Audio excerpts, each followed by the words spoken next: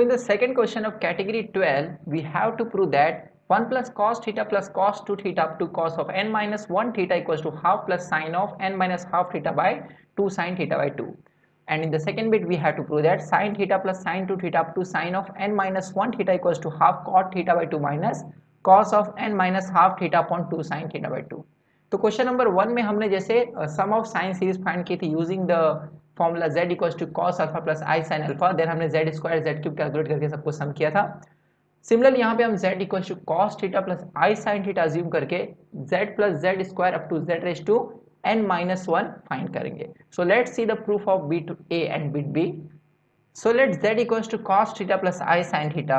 Therefore z plus z square plus z cube up to z raised to n minus 1 equals to cos theta plus i sin theta raised to 1 plus cos theta plus i sin theta raised to 2 up to cos theta plus i sin theta raised to n minus 1. Now by applying De Moivre's theorem, we can multiply uh, the respective power with theta so therefore this sum will be equals to cos theta plus i sin theta then cos of 2 theta plus i sin 2 theta up to cos of n minus 1 theta plus i sin n minus 1 theta. Now taking real parts and imaginary parts together I will get cos theta plus uh, cos theta 2 theta plus cos 3 theta up to cos of n minus 1 theta as real part of z plus z square up to z raised to n minus 1 okay similarly sin theta plus sin 2 theta sin 3 theta up to sin of n minus 1 theta is imaginary part of this uh, particular series so अब यहाँ पर sin theta plus sin 2 theta क्या हो गया imaginary part of this series and cos theta की series क्या हो गई सॉरी sin theta की series imaginary part हो गई z plus z square up to z raised to n minus 1 okay and cos theta की series हो जाएगी real part तो सबसे पहले हम इमेजिनरी पार्ट को इवेल्युएट करेंगे so consider z plus z square up to z raised to n minus 1 which is equals to now uh, this is the formula of sum of gp so basically sn equals to sum of n terms in gp equals to first term into common raised to n minus 1 upon r minus 1 so here first term is z. So z into common ratio is also z and total term is n minus 1 so z into z raised to n minus 1 minus 1 upon z minus 1 so this is equals to z raised to n minus z upon z minus 1 so now what is z? Z is cos theta plus i sin theta. Therefore this uh, is equals to cos theta plus i sin theta raised to n minus cos theta plus i sin theta. Now applying de Moivre's theorem i can multiply n with theta. So i will get cos n theta plus i sin n theta minus cos theta plus i sin theta divided by cos theta plus i sin theta minus 1 so taking real parts and imaginary parts together, I will get cos sin theta minus cos theta plus i times sin n theta minus sin theta.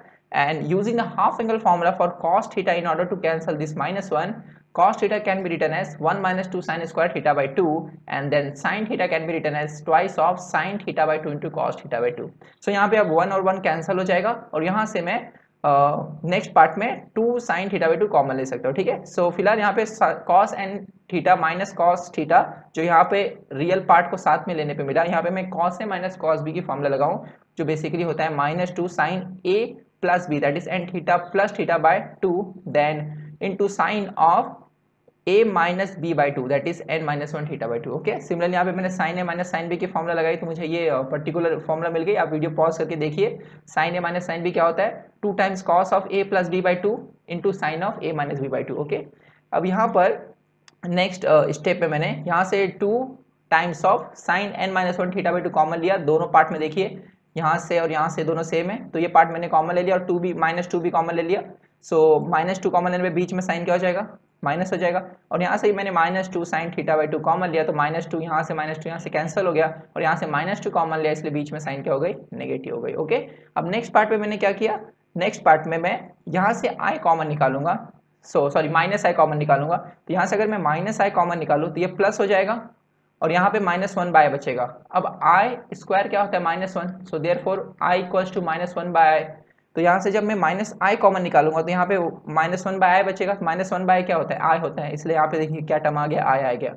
और यहाँ से minus i common निकाला और यहाँ denominator से ही minus i common निकाला तो दोनों minus i minus i cancel हो गए। और यहाँ पे माइनस वन बाय आई जो बचेगा उसको मैं आई लिख सकता हूँ यूजिंग दिस फॉर्मूला ओके एक बार फिर से मैं आपको बता दूँ यहाँ से मैंने माइनस आई को कॉमन निकाला तो यहाँ पे मुझे माइनस वन अपन आई मिलेगा। सिमिलरली यहाँ पे माइनस वन अपन आई मिलेगा यहाँ पर साइन थीटा बाई टू के साथ और यहाँ पे sine of n plus one theta by two के साथ ओके अब माइनस वन बाई को क्या लिख सकते हैं? आई ओके जो यहाँ पे मैंने नेक्स्ट स्टेप में आई यहाँ पे लिखा है। ऐसा मैंने क्यों किया?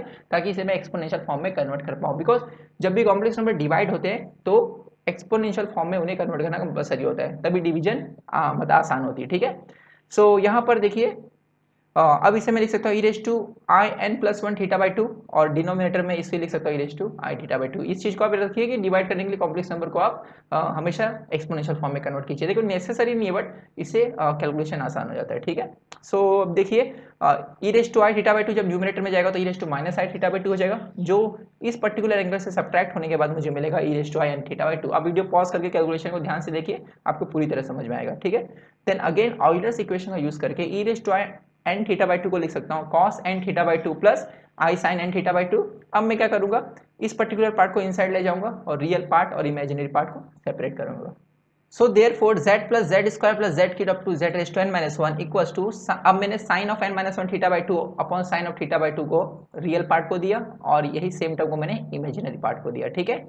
सो यहाँ पर आप देखेंगे कि imaginary part of this particular sequence is this expression that is sine of n minus 1 theta by 2 into sine upon sine of theta by 2 into sine of n theta, n theta by 2 but imaginary part actually में क्या था imaginary part is sum of sine series okay तो अब मैं मैं इसे simplify करूँगा तो आप यहाँ पे देखेंगे sine of n minus 1 theta by 2 और sine of n theta by 2 so let this is this angle is a तो ये हो गया a और let this angle is b तो ये हो गया sine of b okay so यहाँ पे अगर मैं 2 और यह 2 एडजस्ट करूँ सो so, यहाँ पे two sine A sine B की फॉर्मूला लगाऊँ तो मुझे मिलेगा। हाफ़ देखिए बाहर आया एडजस्टमेंट की वजह से। ये then two sine A sine B की फॉर्मूला होती है। Cos of A minus B तो यहाँ पे A minus that is n minus one by theta n minus one theta by two minus n theta by two करूँगा। So मुझे मिलेगा theta by two then minus cos of a plus b okay? That is n minus 1 theta by 2 plus n theta by 2 okay? So यहाँ पे फिर मैंने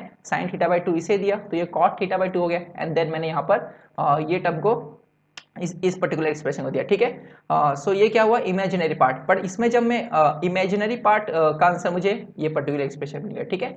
So therefore sine theta plus sine two theta up to sine of n minus one theta क्या हो जाएगा? Half cos theta by two minus cos of n minus one by two theta divide by two sine theta by two okay? ये two को मैं split करूँगा तो ये N हो जाएगा यहाँ पे माइनस हाफ़ मिलेगा ठीक? सो so यही मुझे शो करना था सेकेंड uh, बीट में। अब फ़र्स्ट बीट के लिए मुझे क्या कंसिडर करना पड़ेगा? That is sum of cosine series के लिए रियल पार्ट अब यहाँ पे रियल पार्ट देखिए क्या है? ये वाला पर्टिकुलर ठीक है? सो so, इसे मैंने कंसिडर किया। देन यहाँ पर मैं फिर से हाफ़ और हाफ़ एडजस्ट करूँ तो टू टाइम्स साइन यहाँ पे देखिए। यहाँ पर हाफ़ और यहाँ पे टू मैं टू दे दूँ तो two times sine of A cos B तो two sine A cos B की मैं फॉर्मूला लगाऊँ तो उसका आंसर क्या होगा? ये हाफ़ एडजस्टमेंट की वजह से आया। Sine A plus B minus plus sine A minus B. तो ए माइनस बी करोगे तो मुझे माइनस थीटा बाई टू मिलेगा। देखिए, यहाँ पर ये एंगल क्या है? एन माइनस यहाँ पर ये जो एंगल है सॉरी ये n minus one by two into theta minus n theta by two, okay? So इसे अगर मैं करूँ तो मुझे मिलेगा माइनस थीटा बाई टू। यहाँ पे मैं sine, two sine A cos B की फॉर्मूला जब लगाऊँगा तो वो होगा sine of A plus B plus sine of A minus B. So A minus B का आंसर क्या है? Minus theta by two. यहाँ माइनस थीटा बाई टू करोगे तो माइनस क्या जाएगा? बाहर चला जाएगा और मुझे क्या मिलेगा? Sine of theta by two. और ये तो ए प्लस बी है, ओके? सो अब यहाँ पर मैं साइन थीटा बाई टू अगर इसे दूँ तो ये हो जाएगा हाफ़ ठीक है? हाफ़ अंदर पास करने पर sine theta by sine theta by two cancel हो जाएगा और यहाँ पे माइनस हाफ़ मिलेगा।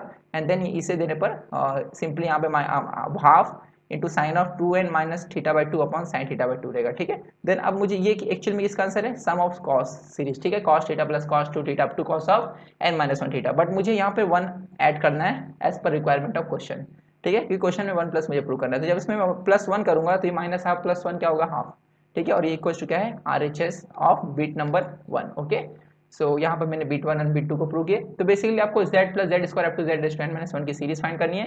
Then real and imaginary part separate करने हैं। देन उसे सिंप्लीफाई करना है। देन आपका जो भी प्रूव करने आ जाएगा, ठीक है?